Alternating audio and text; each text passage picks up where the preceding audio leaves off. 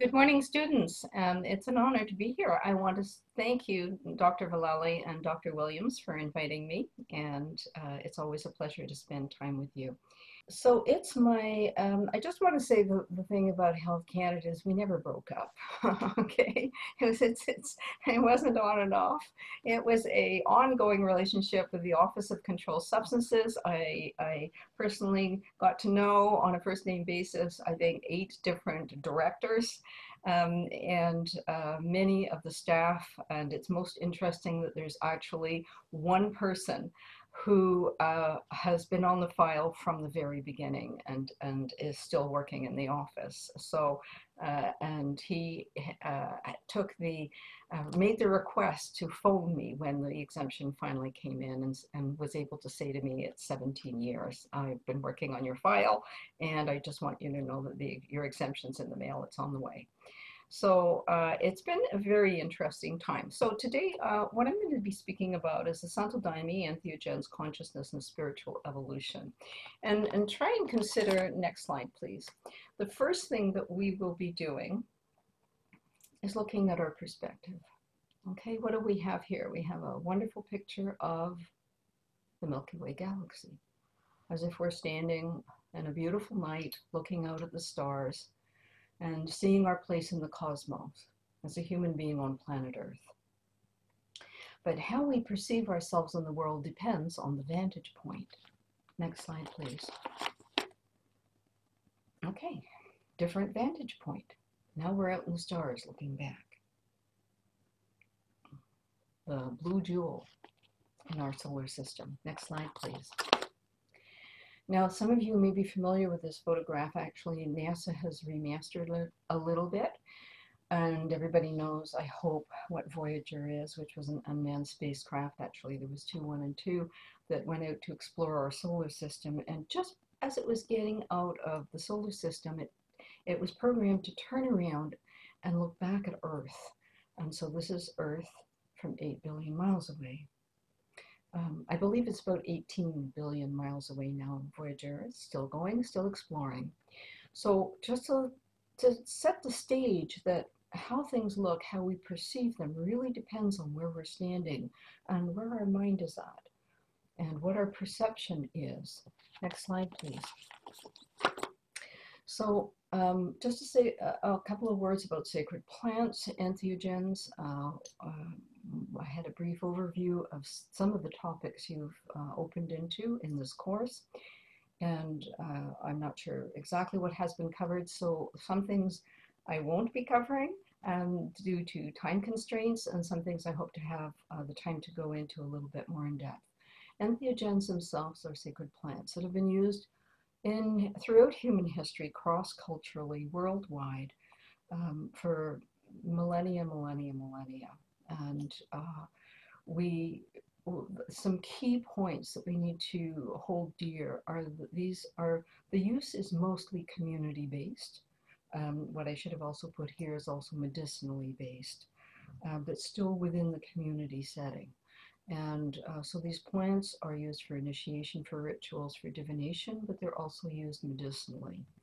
Uh, next slide, please. The Santo Daime, what is it? The Santo Daime is a path, it's a practice. It's also the name of our sacrament. Some of you may know this sacrament as ayahuasca. However, ayahuasca is the name of the vine, and ayahuasca is kind of an umbrella term that uh, more or less includes any any brew that is made with the vine. Whereas the Santo Daime and also the União de Vegetal, which is kind of a sister uh, religion in, in not just in Brazil, but it started in Brazil, uses the exact same sacrament. There's only two plants in our sacrament.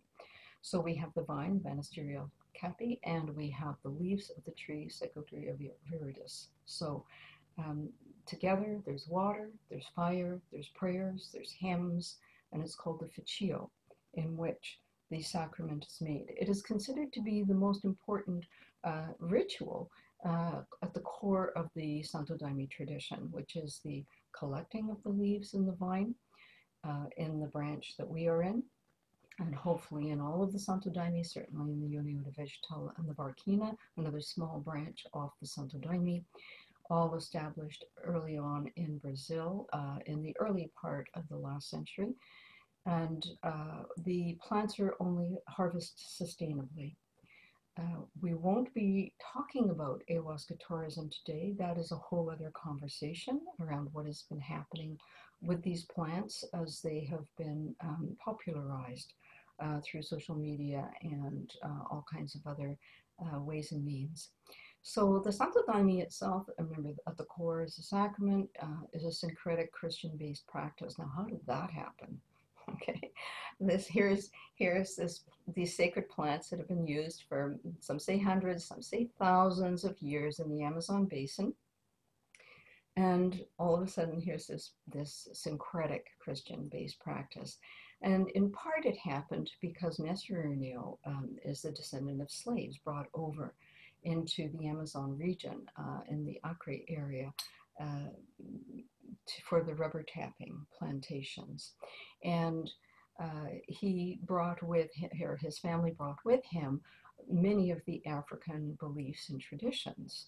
And so those stayed uh, to some degree in the Brazilian area, and to this day you will find a lot of those practices in the Brazilian and the Amazon area have been influenced. So we have the ayahuasca roots, we have the African roots, beliefs and, and, systems beliefs.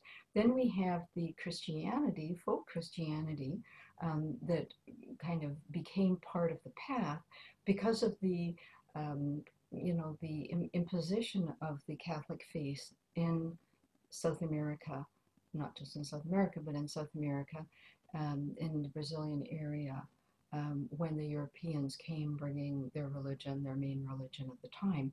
And so, and as the Santo Daime continued to grow and develop, it started to embrace uh, some Eastern traditions. And that happened in some European Spiritism, and it, it became a very eclectic, syncretic uh, path. Now, part of that was simply rooted in the um, what's called the mirações or the visions of the Santo Daime. Um, met the Buddha in the astral. And so it's hard to keep the door closed uh, when you have these personal encounters. And so in, in, it's in this manner that elements of the tradition and the ritual started to embrace. Uh, next slide, please. Core principles of the Santo Daime are love, harmony, truth, and justice. Those are the four pillars of the foundation of the principles and the tradition and the practice. And again, central to the tradition is this is our sacrament. Um, here you have uh, someone um, uh, stirring the pot, the feitio pot. So you can see bits of the vine, you can see the leaf, and uh, it's always done in silence, only prayers and, and singing hymns. And usually a feitio can take anywhere from minimum three to seven days in which members of the community, and it's day and night, so people come and do a shift and, and, and work in the feitio continuously until the feitio is finished. Next slide, please. Now, why are we drinking this sacrament? Uh, it's a calling. The plants call us. Uh, before I went to Brazil in, in 1996, um, I had been dreaming for a few years. I had been having profound spiritual experiences since I was a young child. But a couple of years before I went to Brazil, I started dreaming about being in the forest wearing white and drinking. um, this rather seemed in my dream strange concoction. And there would be this voiceover.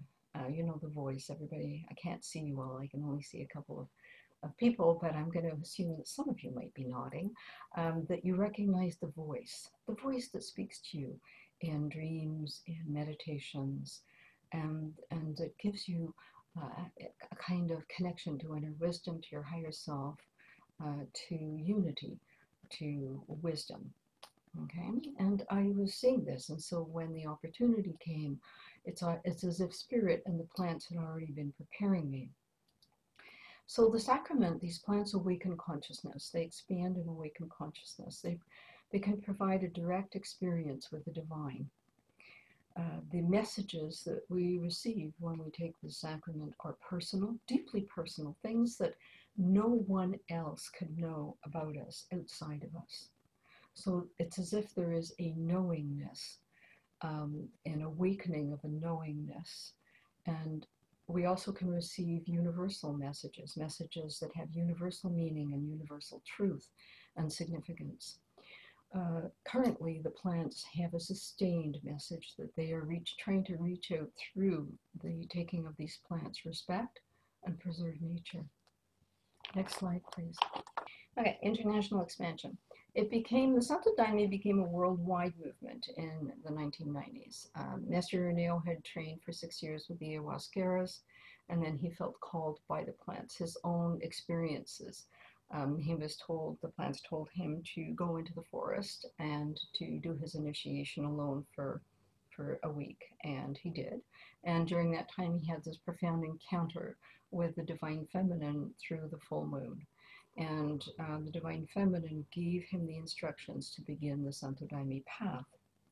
And so he did. Some close friends and companions uh, started to join him, and then it spread out through that little area, and then it spread out through Brazil and through other parts of South America, and then it became a worldwide movement with uh, branches in 34 countries at this point.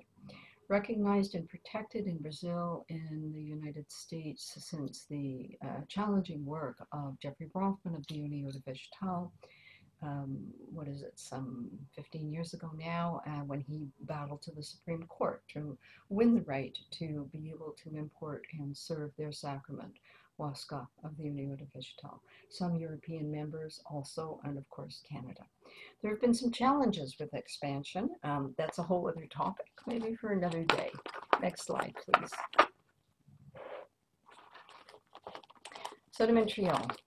So founded in 1997, uh, when I returned from Brazil in 1996, it was very clear after my initiations in the Santo Daime that I would be bringing the path home with me and would be, and I already had a, you know, a group of transpersonal friends. The next thing I know, we had a church. Um, we formalized it and opened it in 1997 and spent 14 years under the supervision of the elders and senior staff of the line that we were with at the time.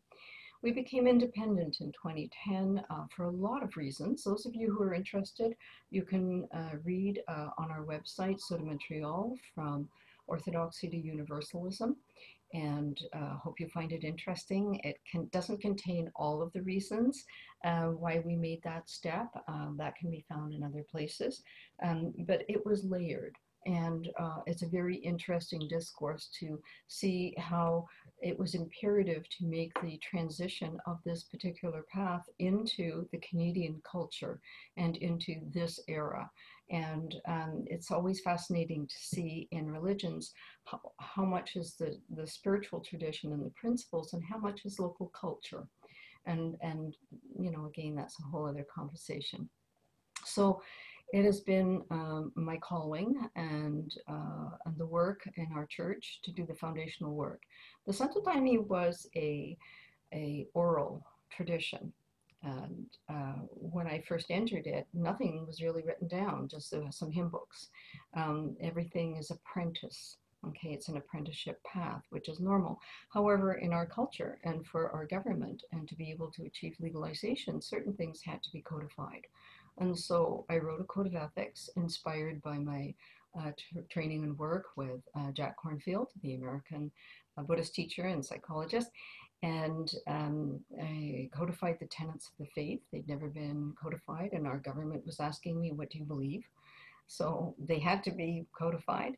All of our visitors' information and screening process, um, there are contraindications for our sacrament. Some of them are medical and some of them are psychological and organizational norms and standards, um, uh, working on, uh, continuing to work on that. Uh, next slide, please. Legalization. It, it started in 2000. It was an interesting beginning, and I went under um, two RCMP investigations. And if you've never been investigated by the RCMP, it's interesting. Um, first of all, they comb through your whole life. Um, the first thing I knew was, you know, I'd been quietly importing it with the correct documents from Brazil. Um, knowing that the shoe was going to drop and just trying to get us prepared for to be able to go forward and uh, with the appropriate agricultural documents, um, it being a protected plant, uh, heritage plant. And so I, all my documents were in line. So when this happened, I was be able, I was able to present myself. We we had the good fortune of having a very remarkable detective, RCMP detective, who was very sympathetic to what we were doing. And he says, "Listen, you need to get an exemption." He smiled and he says, "It may take you a while." Well, it did. It took 17 years.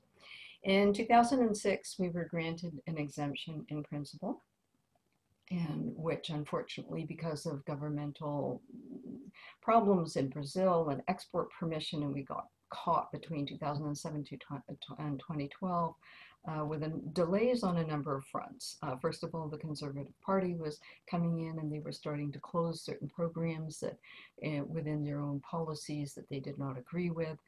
And so uh, we were finally told that they were closing our exemption. The conservative health minister at the time informed us that no, we would not be able to do this. And at the same time, closed many other programs across Canada that were considered to be under the same kind of umbrella. So um, in 2013, I called up my friend Jeffrey Bronfman and I said, we need to work together to achieve this. And so we did. We united our our uh, efforts and fundraise to pay for the necessary lawyers and experts that we needed. And in 2017, finally, after a government change, um, our exemption was granted. Next slide, please.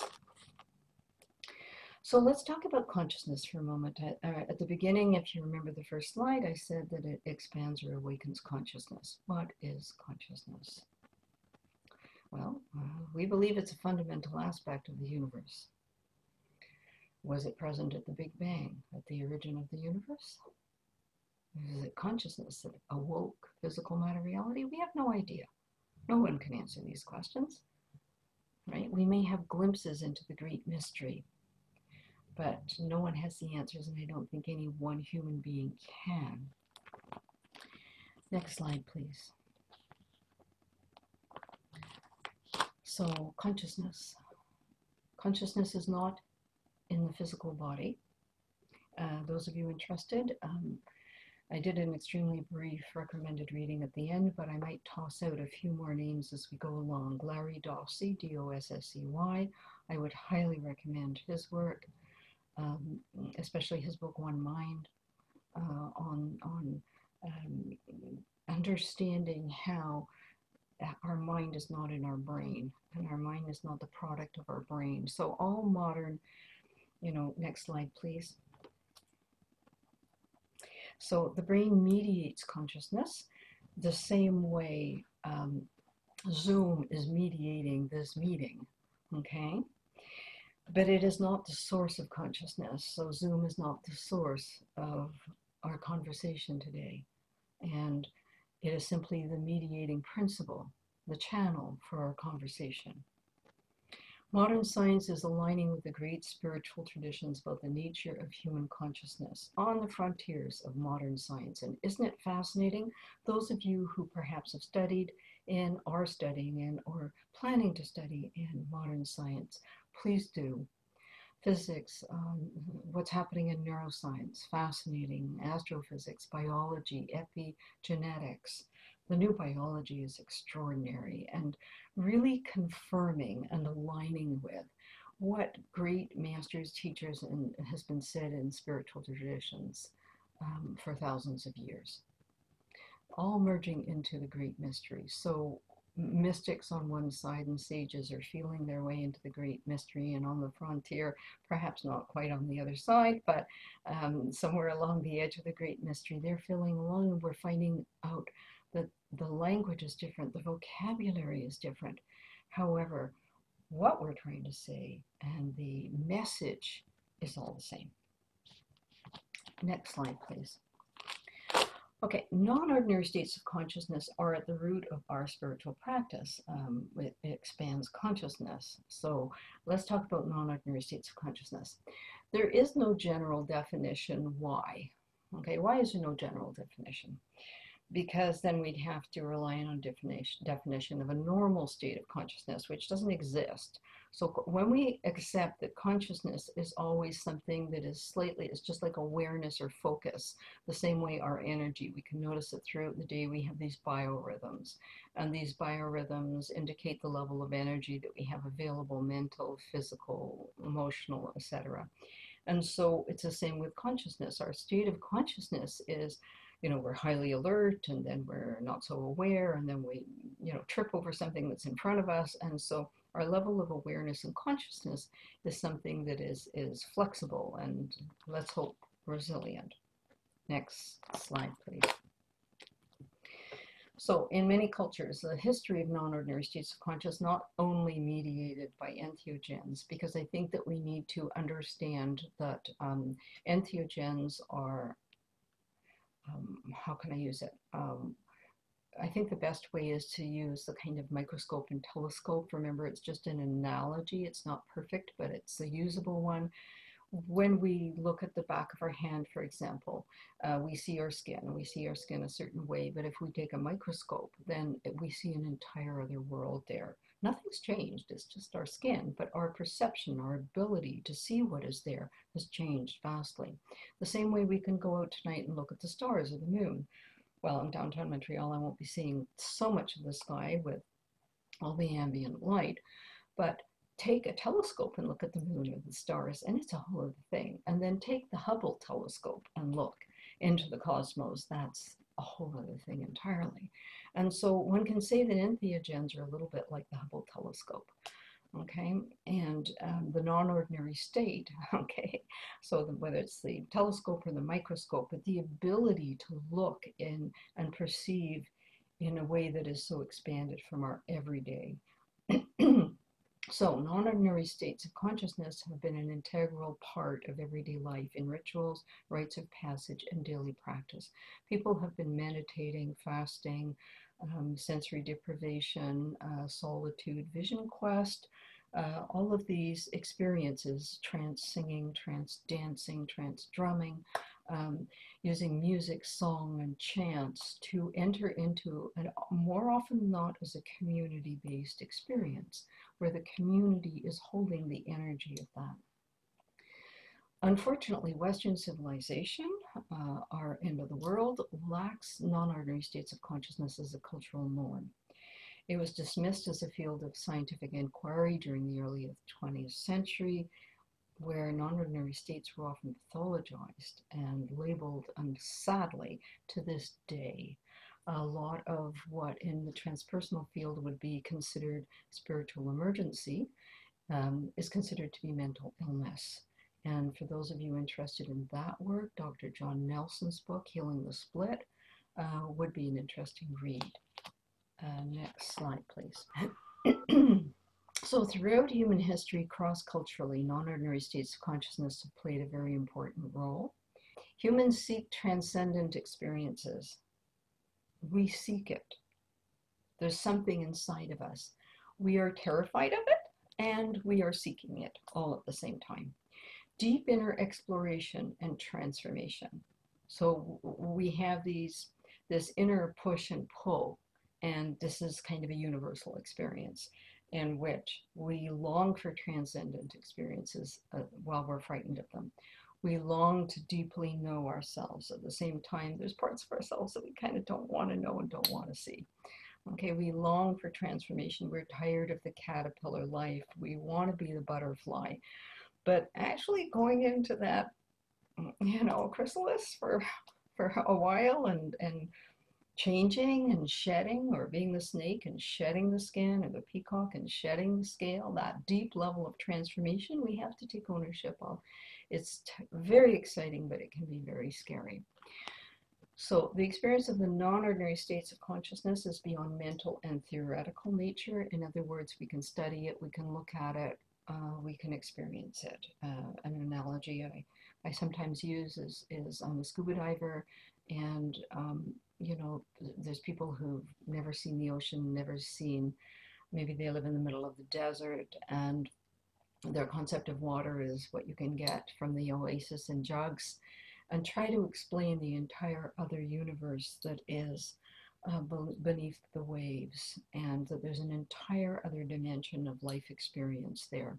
And so that's what the non ordinary state gives us. It gives us this opportunity to explore uh, realms and dimensions of consciousness that are not readily available in our regular state of consciousness.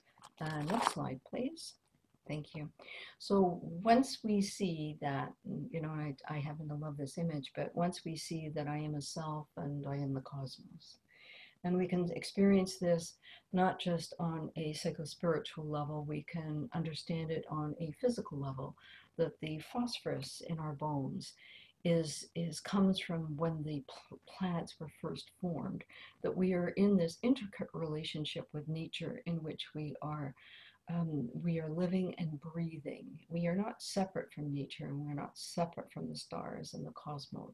We are actually one with that. And when we are willing to embrace that we are one with all things, then our individual identity uh, takes a shift. It needs to and uh, this game can be exciting and challenging.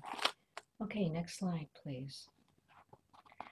Non-ordinary states are states outside of our everyday awareness that go beyond our everyday perceptions.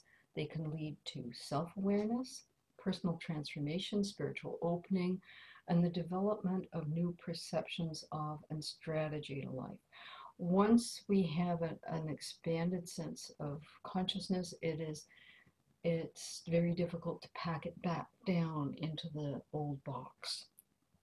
Um, uh, people who've been in my study, it's actually on the wall I'm facing, is I have this whole wall full of uh, mythological archetypal imagery.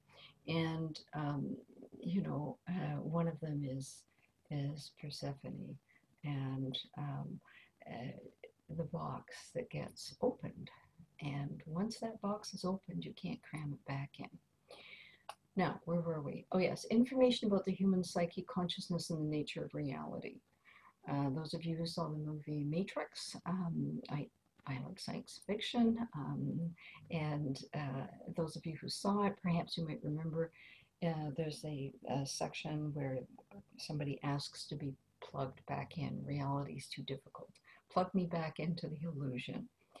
And so if we look at our, and this is again is a segue, it's an entire other lecture. If we look at our culture and we see the trouble that our culture is in, I wonder how much of it has to do with our lack of spiritual connection, our lack of connection with nature, our, our lack of true connection with community. Uh, next slide, please. Thank you. Rumi. If you don't know Rumi, go exploring. You are not a drop in the ocean, you are the ocean in a drop. So it's it's easy to get, it's hard to get. It's easy to get, it's hard to get. Next slide, please. In the non-ordinary states of consciousness, it becomes possible to expand our view of the cosmos and of ourselves. It provides an opportunity to transform the past, old traumas, biography, birth, uh, the best maps of the self I can offer you are the maps of um, Roberto Assagioli, the Italian psychiatrist, his work, and Dr. Stanislav Grof, his work. And um, he added into the maps uh, the cartography of the human experience and the human um, uh, soul, spirit, body, um, um, not just beyond bi biography, he added in the birth, so important in the transpersonal realms, uh, Jung, and then uh, Jung's work, and then Assagioli's work, and then Stan Grof's work. For those of you who are in that field, would be the path I would invite you to follow and read up on. It helps us to resolve karma. Now, this is a bit of a tricky piece. I liked it if it, I hope you're interested. I can't see any of you except Dr. Vallely, Um, so I have no idea um, if uh, you'd like to spend a minute on this, but I would. Resolve karma, how do we do that? Uh, well, what's really interesting is, is this past life research that's been done in past life um, the information that's been available, it's really difficult to study this.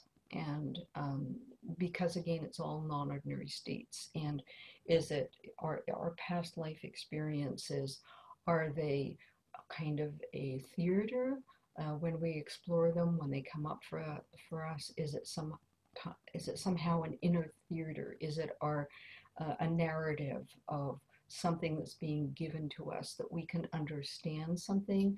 Is it that we are connecting into the collective unconscious and we're vibrating with or picking up stories from uh, whatever that's called, the collective unconscious, the Akashic records, the, you know, ancestral memories, uh, whatever we're going to call that. Um, is that where we're picking up or did we actually live that life? Now, what's really interesting is if you if you are interested in this and you do read up on it, there's some excellent literature. It's very limited and there's some not such good literature, so be careful what you read. But interestingly enough, is most powerfully, people will say, and Stan Grof in one of his books, he tells a story about how he accessed and resolved a past life. And I can speak to this. I don't know about any of you, but a lot of my past life material comes up in dreams. Now, this is quite interesting because uh, doing dream work, um, I had a private practice up until 2018, so close to 40 years of working with people. And uh, in dream work and regression work, what, what's fascinating is our dreams will often be where we are exploring this material and where it is trying to resolve. And I think that the biggest takeaway that we can have for this is that it is part of our spiritual evolution to resolve karmic patterns. And if we have the worldview, which is what we have in the Santo Daime, that we are a reincarnating soul, and that we are here to explore and discover and learn and transform, then resolving karmic patterns becomes a very interesting part of our personal work. It helps us, so the non-ordinary state also helps us to change our life narrative. It helps us to change how we're living our life in the now. This is the one, the life you're in is the important one, by the way. And I personally never discovered that I was anybody important, by the way. Everything I discovered were very ordinary, very ordinary human lives, but that there was patterns. I, I could, in, in actually in one uh, ritual, I was shown a pattern that was in this, present in this life that went back 6,000 years, lifetime after lifetime, back and forth between one side and the other of various religions and it was a fascinating pattern and seeing it and understanding it gave me a profound understanding of how to transform my relationship to certain things in this lifetime. Next slide, please. This is a, a chart that I, I made a few years ago to help me explain individual and expanding consciousness. So we start back down with the individual mind, which we, you know, my mind has my thoughts in it. No one's ever going to argue this. Okay, my thoughts are my thoughts. Your thoughts are your thoughts. Okay, then we have our, so we have our personal unconscious. Then we have our family unconscious, and then the tribe or clan or community. So, and then we have our national unconscious. I hope everybody's still with me. I can almost feel that there's questions that people want to ask. and um, so then the Canadian national unconscious would be different from the Japanese national unconscious or the Australian Aboriginal uh, unconscious, right? There's different stories in those lines. Then there would be the global human unconscious, and that would connect to Gaia, the world's unconscious. Then there's the collective or universal unconscious, and then there's the great mystery, the I have no idea what's out there. So a little chart to help understand how deeply layered uh, consciousness is. And the ability to, you know, if somebody didn't know what a microscope was and then you looked at the hand and then you looked at through the microscope, you'd have no idea what you were looking at. What are we looking at? Okay. Truly, what am I looking at? And um, this can happen for people when they first take entheogens. The experience can be so profoundly expanding that at first they have no idea what they're perceiving. So let's Let's go to the next slide, please. Expansion of consciousness. So this is just some steps of what happens uh, when we take entheogens or when we take our sacrament, the Santo Daime. There's a threshold experience. And a lot of this information is almost identical to uh, the research on uh, near-death experiences. Possibly some of you um, have read up on that. It's something that I, I would highly recommend is read up on near-death experiences. I think I have one or two people named in the recommended reading. Um, again, there's there's good research and, and writings and not such good stuff, so be careful what you read. And so in the, in the near-death experience, in the spontaneous non-ordinary state of consciousness, um, the out-of-body experience, these spontaneous experiences that are not, that can happen just like that, um, they can be um, uh, initiated or set off by stress, by giving birth, by a major change in your life, and sometimes they just arrive. And so there is a threshold experience, a shift of energy and or consciousness. You'll feel something. Some people describe it as a click or a sound or a humming or a vibration. And that takes you into the sensory changes where you have sensations, sounds, visuals, often accompanying emotions. You might experience fear, okay, as one is realizing that one must let go of a certain level of control and uh, a certain worldview and control needs to be let go of. Then there's a transitional phase. It is experienced very commonly in the Santo Daime as reaching a gate. And there's usually a being or a presence or an energy or a force or a light that's there at the gate or a tunnel a breakthrough experience, a crossing over, or an entrance into another realm. These are the common um, shared experiences in, in entheogen and um, uh, non ordinary states of consciousness, large shifts, such as the near death experience. there can be the state of dual or multi awareness of self and the nature of reality. I'm me, but I'm somehow not me. I'm I have my awareness, but I have this cosmic awareness. So there's this dual awareness in reality. Encounters with intelligent beings and beings. Now you see there's a small b and a big B, and that's just me. Um, there's beings and there's beings. And communicate uh, in a way that's telepathic, um, that uses sound, sensation, and uh, they appear to be able to discern one's entirety. Um, the first time I took uh, Santo Daime in 1996, um, I thought I had prepared myself as best as I could uh, through meditation and following the dietary and you know what felt like a hundred lifetimes of personal work and therapy and, and training with Stan Grof and I felt reasonably prepared. Um, oh, good luck. Uh, there is no full preparation. Uh, there's a readiness and as much as you can prepare. And what happened was uh, within 20 minutes of, of, of taking the Daime and sitting in my place, I realized that I was negotiating a new relationship with gravity and that um, uh, that there was this gateway experience of intense light. I felt as if I was at a gate and there was a being there. And it's I felt as if this being could completely see absolutely everything within me. And um, not in any way uh, unkind way or judgmental way, not in the slightest, in a, a way, let's call it grace, a presence of, of grace discernment, wisdom, awareness, far beyond anything I had ever experienced in this lifetime up until that moment, with the exception of two experiences that I may have a moment to mention in a minute or later on. And I felt as if this being took everything that it didn't like that I couldn't take through the gate, just the same way at the airport you go through the security gate and they pull out a few things and say, nah, you're not taking that on the plane. And then I found my way outside to throw up. And I realized that's what was clearing. Is everything I couldn't. Then I went back into my place and I sat down, and a voice said to me, Pay attention, you're in a training. So, being able to discern one's entirety, there is this presence, and it may be experienced um, in different ways. We'll come to that in the next slide. So there's an experience of unity, cosmic consciousness, a transcending universal light.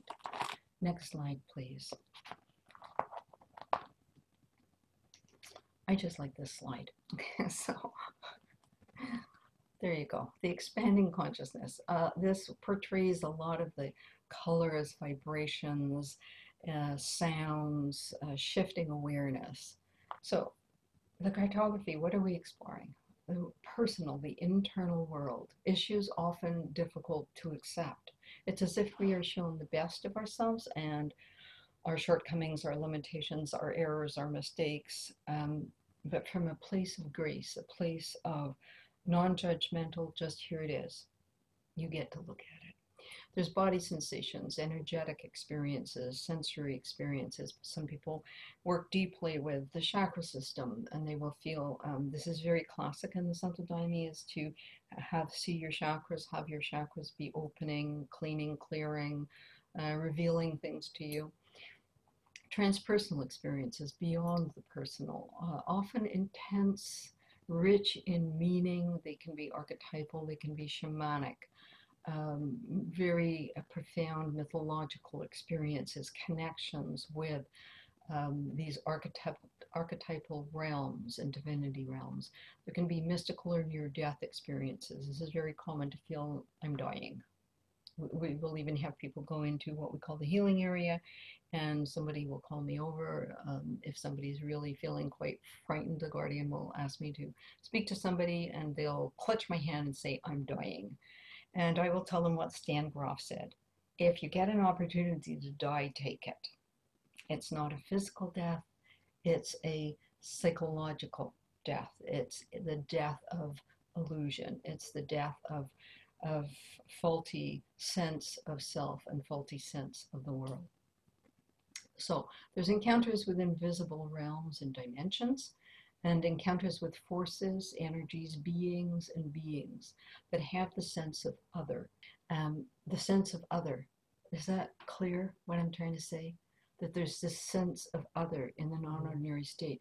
We have it every day. You know, our cat comes into the room, we sense our cat or our dog or our partner. We go for a walk and there's other people around and other creatures and other things. So we're used to having it in the material realm. We're not used to having it when we go in our head, when we go in our meditation. There's usually just us in there, right? The, the world of me. Does Everybody understands that there's the world of me, in which I'm in this bubble of me. And then all of a sudden, in in the non-physical world, there's this sense of other, and it has a very definite vibration. It can often have um, these beings will often give you their name. That's what I teach people who come into our church. If you meet a being in the Daime, honor it, respect it. You don't know who it is yet, and ask, Who are you? They will often tell you, not always, but they will often tell you who they are. Uh, next slide, please. How are we doing time wise? Oh, we've got a little time. So, the encounters we encounter divinity beings, angels, celestial beings, ascended masters, semi-divine beings uh, from all different um, paths and traditions. And we have to trust if we meet a specific being that we are meeting that being for a specific reason, that that being has something to teach us, something to show us, something to reveal to us, that there's something about their life, their teachings, that path that is important to us in this moment in our life. We can encounter deities from antiquity and other cultures from the one that we would consider our culture, even our ancestral culture. The uh, Orishas, the Orishas, uh, and Caboclas, uh, these are beings that operate within the line of the Santo Daime and some other lines. Um, in, in traditional Brazilian practice and some African practice. These are these are being orishas or the forces of nature. They are profound. You encounter an orisha, it's a profound experience. Caboclos and caboclas are helper, guardian beings, um, and often we will find that we've had uh, beings uh, walking with us in our lifetime that they've actually made a commitment to help us in this lifetime, that we have a karmic agreement with them, that they will help us by being our guide, by giving us, by guiding us. And, and you know, again, I can't see you. Um, hopefully, in a few minutes, we can have time to ask questions and I can get to look at you. Um, but um, I'm sure some of you have had the experience of a personal guide. Um, and whatever form that takes, how that, however one experiences that and, and relates to it. But there's something. It could be a voice, a presence. It could show up in a very shamanic way. It could be a, um, you know, a dolphin or an eagle or a bear. And it should, could be a very archetypal way. So, uh, and it's all fine. So we can meet shamanic, transforming, or ship shape, shifting, ship, shape shifting, sorry, beings. Uh, what's called extraterrestrials, please don't think, you know, Roswell. Um, uh, extraterrestrials meaning not human, not cats, dogs, cows. So something that we're not used to. On uh, so beings that appear to come from um, some other realm that, and don't ask me to explain this because I can't explain them. I can only say that people experience them. Uh, entities, trickster forces, uh, this is very shamanic. The trickster, trickster forces are there, coyote energy, and uh, to see, are you awake? Hello, are you awake? Okay, are you paying attention? That's what trick. Don't don't be frightened of tricksters. They're trying to help. They're the rumble strip on the side of the highway. You know, when you fall asleep at the wheel and your your car drifts and there's that shaking, the rumble strip to wake you up. Okay, trickster forces are to wake us up. People will report meeting dark beings, demons, monsters, and beings related to death. Again, something to teach us. When we open to that, um, there's a wonderful story of the, of the Buddha uh, I'll quickly share, and in which the Buddha apparently uh, took some of his um, more recent apprenticeship apprentices and took them to a forest and said, you go in and you spend the night and you meditate. And they went, ooh, but that, that forest has a reputation of being haunted. You know, I don't think we, oh, we're going to go in there and meditate. No, you're going to go, that's your next step, go in there and meditate. So the next morning, Buddha comes along and, and the, the young students are coming out of the forest and they're all trembling and shaking and angry. And you made us go in there and there was, there was monsters and demons and, and he looks at them and he says, you didn't meditate, did you? And they all fell silent. And he says, okay, tonight, prepare yourself because tonight you're going to go in and you're going to meditate. Meditate the way I taught you to meditate. So in they go. He comes by the next morning and they're all peaceful. And they say, oh, thank you, thank you. Buddha, thank you. We went in and we opened our heart of compassion and we meditated. And all those difficult demons transformed and went into the light. Okay, who else do we meet? We meet discarnate beings. Um, this is really common. If you do the uh, near-death experience uh, research, you'll find that this is really, really common in near-death studies. Uh, next slide, please. We have just a couple of minutes left. Um, the Hero's Journey, Joseph Campbell. I hope some of you are familiar with his work. If you're not, and you have a little time, please look into it. The greatest mythologist of the last century. I wish he was still around. Next slide, please. So the hero's journey, um, there's the call. And I can only say this again and again. Uh, there is a calling. Entheogens, the plants call. And the beings who work in the line. For example, in the Santo Daime, there's certain beings. You know, Master Irineu, it is said, walks the line. And he calls. He calls. And then the plants will call. And this is part of the belief. We don't solicit. In the Santo Daime, it's prohibited to proselytize or solicit people. Um, we do not permit it. And if somebody does do it, it is against the principles. And the reason we don't is because we deeply recognize that it is a spiritual calling and that this should never be put. Religions and belief systems should never be imposed on people. The calling, the spiritual calling, must be the seed that is within, that we incarnate with, that then calls to be planted and bloom. So in the hero's journey, there's always the call, the departure. We have to get in the boat and sail off. We have to pack our knapsack and head into the forest. And, uh, you know, this is a whole year long, not just a semester, the study of Joseph Campbell's work. that I just want to give you the table of contents um, so that you understand that this can easily be applied to um, the uh, the traditions that use entheogens, that it, they really are part, they can be parsed out as the hero's journey.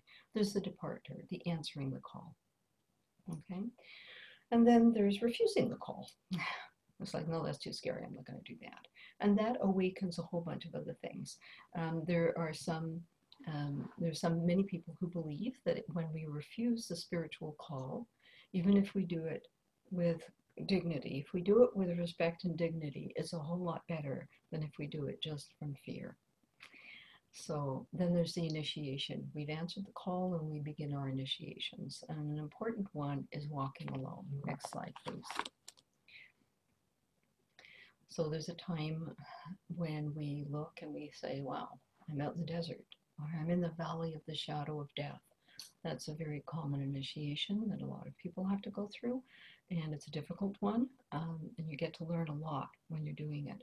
So walking alone, we will often feel alone, and and that's why is that such an important initiation? Um, this is why there's vision quests and there's these rituals where you do have to go walk about and you do have to go. Why Mestre did have to go one week alone with the plants and just water and manioc and drink every day. Because you need to have these initiations so that you find the courage, the strength, the confidence, and the faith within yourself, and that you quiet yourself to, to listen to the voice, that, that small, silent voice that becomes somewhat louder uh, when we are in relationship with entheogens. And um, to be able to listen and to discern and to be able to see and understand, even if it's just the next step. Next slide, please. Along the way, there's dark nights and difficult passages. This is part of the hero's journey. Uh, Stan Grof used to share with us, why is there evil in the world? I'm sure there's lots of answers. Uh, the bottom line is, is to thicken the plot. I like that one best.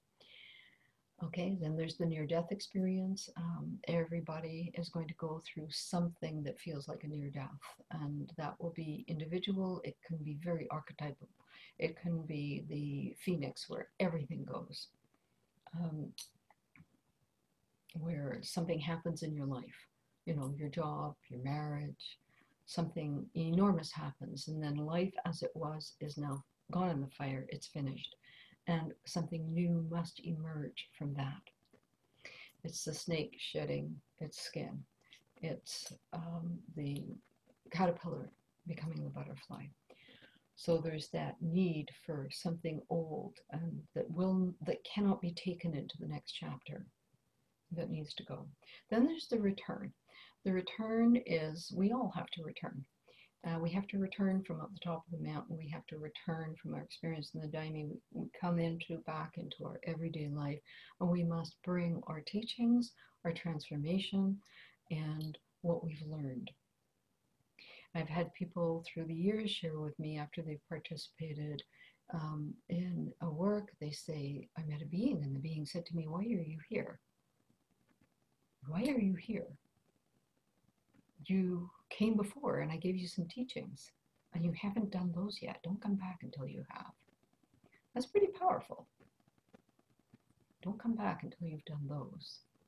Now, what people don't understand if, is if you were to go to a very traditional, um, let's say Zen master, that's what he would say to you, or she would say, don't come back until you've, if it takes you six months, go and work with this technique we are used to in our culture, we're used to instant now, immediate, um, quick, the, the, the shortcut, the instant. Um, it's our culture has changed and we need to go back to learning patience and presence and awareness. Now, some people refuse the return.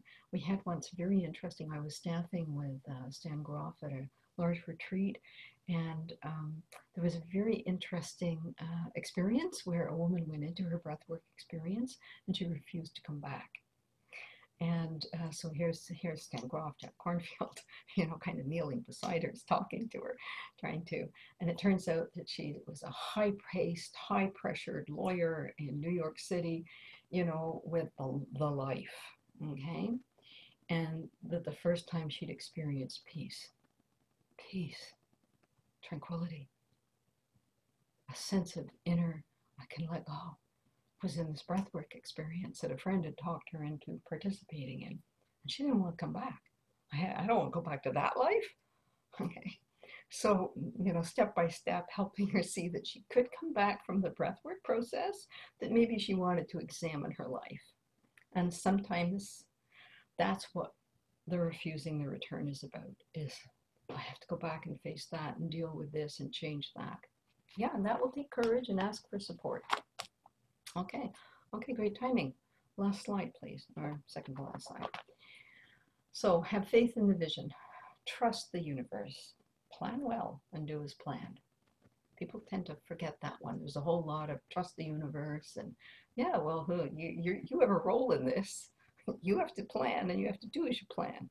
Okay, and then once you've done that, then you relax and be willing to accept all possible outcomes. Right, um, uh, last of the last slides is just a bit of recommended reading. Uh, there's our website for those of you who haven't had a look. Uh, all the work of Dr. Stanislav Grof. Uh, Near-death experiences, Kenneth Ring. I had the pleasure of, of knowing him way back, way back when um, a remarkable man who was one of the first doing, well, Raymond Moody was, but Kenneth Ring took it scientifically and, and academically into the next step. And then John Hagan, MD, his more recent uh, compilation of the science on it. Um, those of you interested in some of the work of ayahuasca, here's just a few I, have put Bia Labate down on the bottom because I think that she is, those of you who are interested in the research, that if you go to her website and then follow on to some of the other websites that connect, then um, uh, that those are good routes to take. Um, there's a lot that's been written. There's a lot on social media. I would say be very careful what you read um, because there's a lot of nonsense out there and be very careful. Um, I don't think I have anything to add as far as recommended reading goes. Uh, uh, there's um, wonderful fields. As I said, the near-death experience would be a really interesting um, background and some of the other transpersonal psychologists as well.